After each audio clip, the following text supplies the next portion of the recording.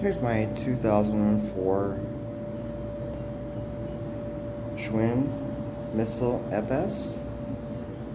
It is 60 volts. I gotta get a battery holder there, but it's all been converted over. Brakes from a Phat Flyer, which worked really well. It's got a headlight. Seat here is new, comes off. It's got a 1200 watt hub motor, which is overvolted from 48 to 60, which is equal to 2200 watts. Hold the button down.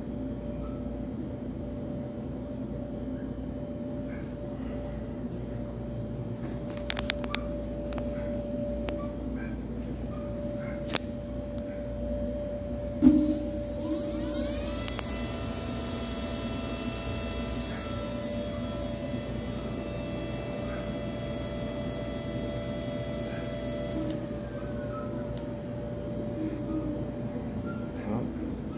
you have it. 900 bucks invested